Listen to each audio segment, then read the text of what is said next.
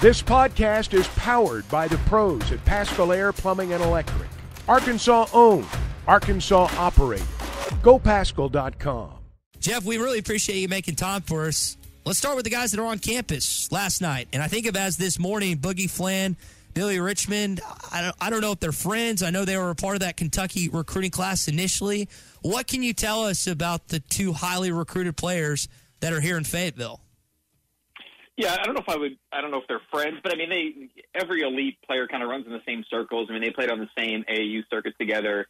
Um, they both played on the Nike circuit. They both played in the Jordan Brand Classic. Obviously, as you said, they're both committed to Kentucky, so they're familiar with each other. They're both from kind of the New York, New Jersey area, so they they run in the, the same circles very much. I think Arkansas is in a pretty good spot for both. Um, you know, obviously they were both committed to Cal, at Kentucky, and the schools that you know, for, for Richmond, it was down to Kentucky and Memphis before he committed to Kentucky, and Memphis doesn't seem to be, you know, all that involved at this point. And then Boogie Fland, it was Kentucky, Indiana, Alabama, and neither of those schools is really in the mix either. And so it, it just feels like both of these guys decommitted and pretty quickly focused on following Cal to Arkansas. And so, you know, as of right now, I I feel like Arkansas is in a pretty good spot for both players. Now, if they if they leave the visit without committing, then you know, suddenly some questions open up. But uh, it does feel like momentum is is trending in Arkansas's direction with both players. Jeff, Arkansas fans are watching John Calipari recruit closely for maybe the first time. What's the secret? Where's the magic? Give us a sense of what it's like when Cal walks into the gym. Um, the, the the the presence that he has. Yeah, I mean, people turn heads. If he walks into a crowded gym, you kind of know he's there if he walks in. Um, he does have that kind of, uh, I don't know if aura is the right word, but you know, people, he's got a presence about him on the recruiting trail for sure. And it, it's, it's, it's a, uh, he has the history to back it up. He's produced so many N- NBA players from his time at Kentucky and his time at Memphis.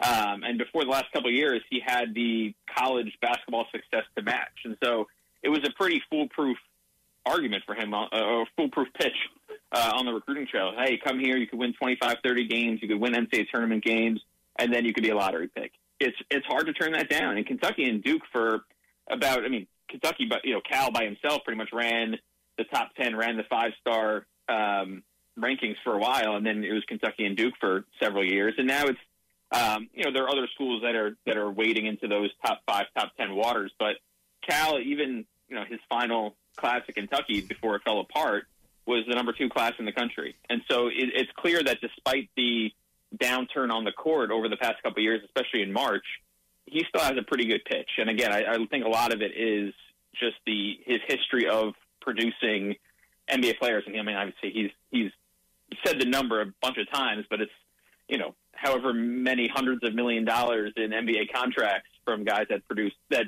Kentucky produced during his time there. When you look at the elite players uh, that are that are considering schools, um, what's the tipping point? Obviously, NIL has changed the game, but recruiting is still recruiting. You're just recruiting with different inducements now. Um, what do you find to be the tipping point sometimes with his uh, with these elite players on where they ultimately decide to go? Yeah, I mean NIL is obviously a huge factor, but for a lot of these guys, it's you know, will I play the role I want? Will I get the shots I want? Will I be able to be there for six months and then leave? Because as we've seen, you know, a couple, even as a couple of his UK guys, you know, DJ Wagner and Aaron Bradshaw, I think at this time a year ago, everyone assumed they'd be in college for six months and then go to the NBA, and they just didn't perform. And I think that's that's kind of the fear for a lot of these top five, top ten kids, especially in the the transfer portal age where it's hey we want to play 22 23 year olds over 18 year old freshmen. And i think that doesn't just go for cal. I think that goes for the rest of the country. It's just harder for a 18 year old 19 year old to make a huge impact right off the bat. I mean we saw you know reed sheppard did it and rob dillingham did it and it but it's it's far fewer than there used to be where you know the lottery picks of the nba draft would be just be you know, eight freshmen, a couple international kids, and very few older guys, uh, college players. And now we're seeing the Dalton Knechts of the world, the Zach Edey's of the world, stay in college for three or four years and get drafted highly. And I think a lot of that is because freshmen just aren't making the impact they used to. So I think that's the biggest thing now. I mean, NIL obviously is a huge factor, like you said, like I said, but I think a lot of these freshmen are, or you know, high level recruits are making sure that they're going to a place where they can play their role from day one and succeed in five or six months. We're talking a little college basketball that's more to Arkansas basketball. Jeff Borzello, ESPN, does a lot of college basketball content for them. You mentioned DJ Wagner, Jeff. What, what's the latest on him? He's one of the guys Arkansas fans are really intrigued by. Yeah, it's been quiet. Um, you know, I think Arkansas is is a possibility. I think Louisville is in the mix. Obviously, they recruited him before he committed to Kentucky, and I do feel like he's been, I don't know, maybe a little bit unfairly uh, evaluated after his freshman year. I mean, he even though he wasn't the number one or number two player like he was throughout much of his high school career, I mean, he still averaged 10 points and four assists on a top 10 team, and he started 28 games for them. And so it feels like people are writing him off as, as kind of a bust, even though for a lot of freshmen, like I just said, a lot of these guys aren't producing like they used to. I, I think that he's still a guy where if he lands in the right spot, whether that's Arkansas or somewhere else, I think he's still a, a incredibly ta- talented, dynamic shot maker, playmaker that you know, with another year under his belt, could still be a, a future first round pick. So what about uh, Jayden Quaintance? I know that you've reported on him. He, he seems to have uh, pushed Arkansas out of his list, Louisville, Memphis, some schools. Why, why has he decided that Arkansas is no longer a candidate for him?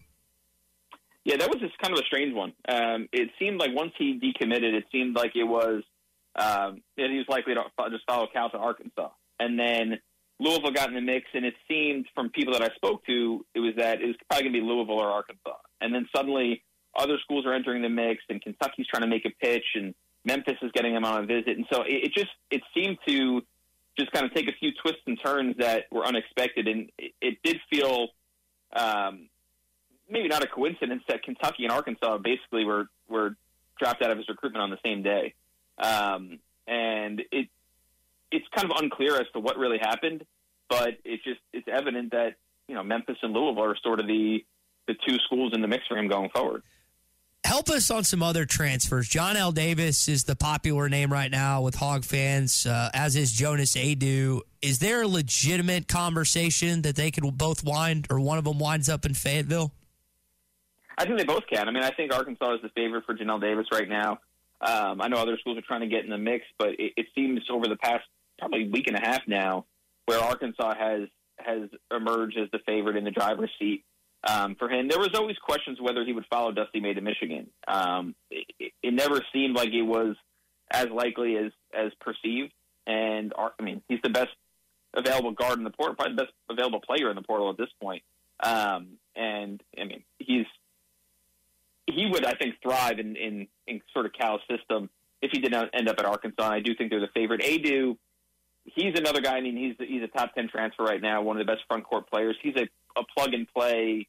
You know, he can make it. You know, he's experienced in the SEC. He was one of the best defensive players in the league. Third team, I believe, all conference mm-hmm. or second team all conference. And so, if they get both, I mean, that's just two anchors um, for them, and, and they're, they're going to get other guys too. But um, it it seems like you know that they are certainly in the driver's seat for Johnell Davis, and I think they're in a pretty good position for Jonas Aidoo also. Jeff Borzello is our guest, ESPN college basketball analyst and writer. Jeff, what about a former Razorback? I say former. He technically hadn't left yet. Caleb Battle. He's in Dallas Fort Worth yesterday with TCU. I think he has a K State visit.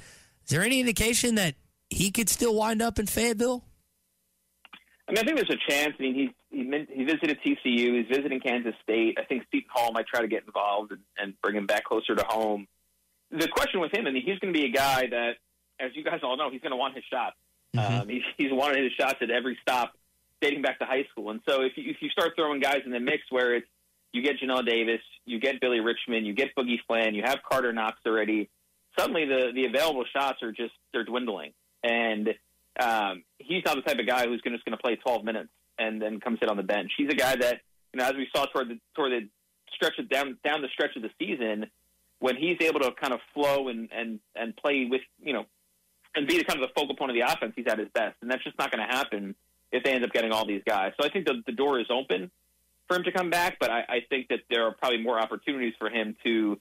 Um, you know, be a, a number one or number two option at a TCU or a Kansas State or a Seton Hall or wherever he ends up going. We're, we're talking about guys that would help this team next year, but for the future, let's stay here in Arkansas. Y'all just came out with your top 100 rankings for both the class of 25 and 26. A couple Arkansas guys on there. You got Isaiah Sealy of Springdale. You got Terrion Burgess of Benton.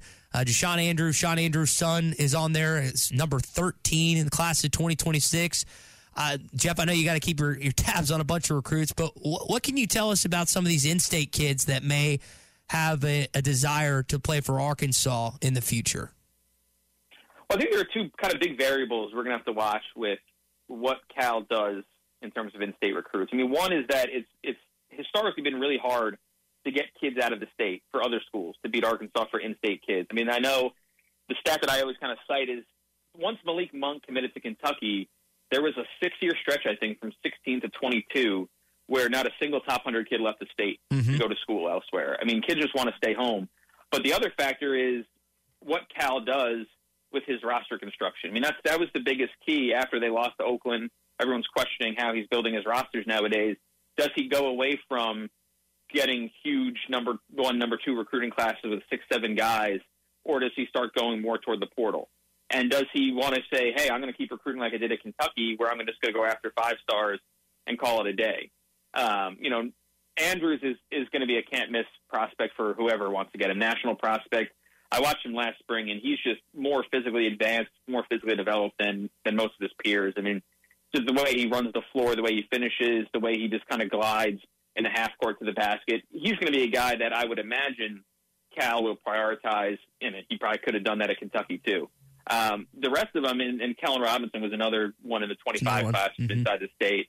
Um, I think it's going to kind of depend on how they develop. I mean, I, I think at least the first two um, will be SEC recruits, and so it, it wouldn't be a surprise to see Arkansas get in the mix. I think Kellen Robinson might end up being maybe just a notch below what Arkansas is trying to build under Cal. But I think it's going to really depend on how they progress over the next couple months and what Cal wants to do with. I mean, he's he's is not going to focus on the 25 class for several weeks now. I mean, he's got what two guys on the roster right now, um, so he can't really turn his head toward future classes just yet. And so I think it's going to depend on on what they do in kind of the big events in May and June and July to see what Arkansas really does with this 25 class. BetOnline is your number one source for all your betting needs. Get the latest odds, lines, and matchup reports for baseball, boxing, golf, and more. BetOnline continues to be the fastest and easiest way to place your wagers, including live betting and your favorite casino and card games available to play right from your phone. Head to the website or use your mobile device to sign up today and get in on the action. Remember to use our promo code BLEAV. That's B L E A V for your 50% welcome bonus on your first deposit. Bet online, where the game starts.